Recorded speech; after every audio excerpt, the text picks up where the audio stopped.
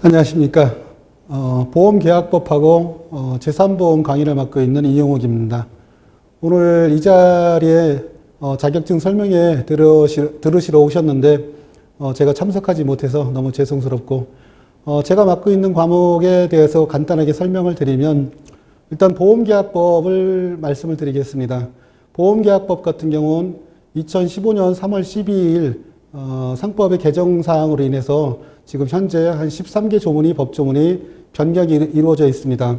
이와 같은 어, 법령의 개정사항은 시험 문제 항시 출제가 되고 2015년도에도 일부 문제가 나왔지만 2016년도에 훨씬 더 많은 문제가 인용될 가능성이 높습니다.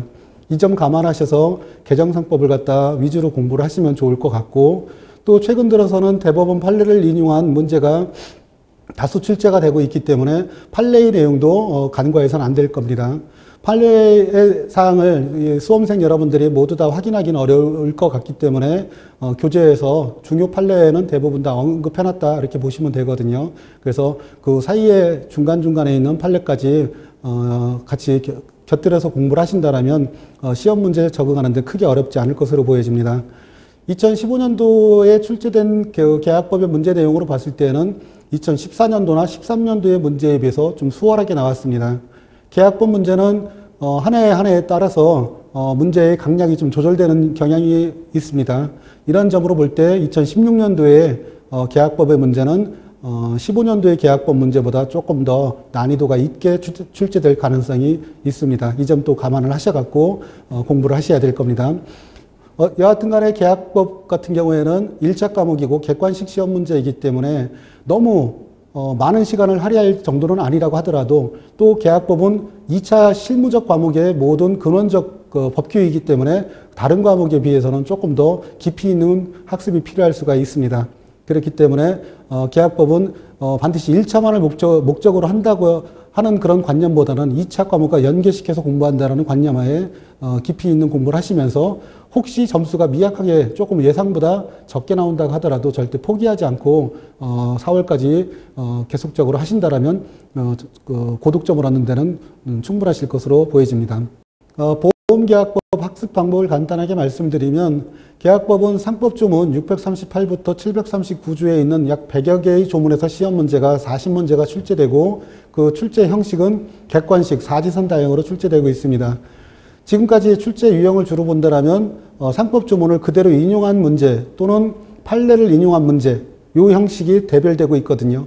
이런 계약법 문제를 갖다 모두 다 어, 어, 만점을 맞을 필요는 없다고 하더라도 법조문만 충분하게 이해하고 있다고 하더라도 어, 충분한 그 점수는 얻을 것으로 기대하고 있습니다. 재산보험 같은 경우에는 최근 들어서 문제가 많이 복합적으로 출제되고 있습니다. 즉 예전과 같은 경우에는 사망이라든가 후유장애 또는 실수 노르비에 관련된 문제가 각각 개별적으로 출제되는 경향이 있었는데 최근 들어서는 이를 피보험자를 여러 명 출연시킨다든가 아니면 단일한 피보험자라고 하더라도 통지 의무와 또 어, 사망과 후유장애, 의료비가 복합적으로 이렇게 출제되는 경향이 어, 2015년도에 나타났습니다. 이것 때문에 많은 수험생들이 어, 혼란에 빠지고 또 고민도 많이 하셨던 걸로 알고 있는데 어, 이렇게 복합적인 문제가 출제된다고 하더라도 수험생 입장에서는 이걸 어, 너무 어렵게 생각하실 필요는 없어요. 다 어차피 사망, 후유장애, 실수노립이라는 개별적인 항목이 한꺼번에 묶어, 묶여 져 있는 것 뿐이고 그럼 여러분들은 훈련은 일차적인 훈련은 개별적으로 공부하시고 그리고 어, 실제 이제 모의고사를 접할 때에는 복합적인 문제를 여러 번 접하신다면 크게 어려운 문제가 어, 되질 않거든요. 이런 복합적인 문제가 어, 앞으로도 어, 지속적으로 출제될 것으로 예상되고 있습니다. 단순하게 2015년도만 조금 더 복합된 문제가 되고 그 이후에는 예전처럼 다시 회귀되는 현상이 어, 기대하기는 어려울 것으로 보여집니다. 그렇다면 여러분들은 앞으로의 학습 방법은 이제 계산 문제를 위주로 공부를 하시면서 그 계산 문제에 부가해서 어, 충분히 출제 가능할 그 가능한 어, 약술형 문제까지 곁들여서 하신다면 고득점을 얻는데 어렵지 않을 겁니다. 계산 문제 형식 같은 경우는 지금까지 전통적으로 나왔던 사망보험금, 후유장애 보험금, 또 어, 실손 의료비 보험금 계산하는 문제, 거기에 더불어서 암보험금 계산하는 문제가 전통적인 방식으로 계속적으로 반복돼서 출제되고 있습니다. 여기에 대한 사항은 계산 문제가 복잡하고 방식이 어려워서의 문, 그 문제를 틀리기보다는 어, 잠깐 실수 내지는 간과해서 틀리는 경우가 종종 있으니까 여러 번의 반복 학습을 통해서 어, 훈련을 하신다면 점수를 충분하게 고득점을 얻는데 무리가 없을 것으로 보여집니다.